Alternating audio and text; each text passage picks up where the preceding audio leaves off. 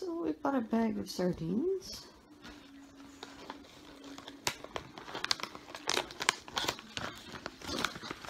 These are them. And it looks like uh, Dolly has dumped a whole bunch of them out for herself to eat. While Erin waits patiently for her share. Yes, darling, I will get you some. Hi, Erin. Are you enjoying your sardines? Yeah. Hey, Dolly. Are you looking for more sardines? You've got lots there. I've got the whole bag. But you've got a whole bunch. You've got a whole bunch. Look at the shrapnel. Look at the shrapnel.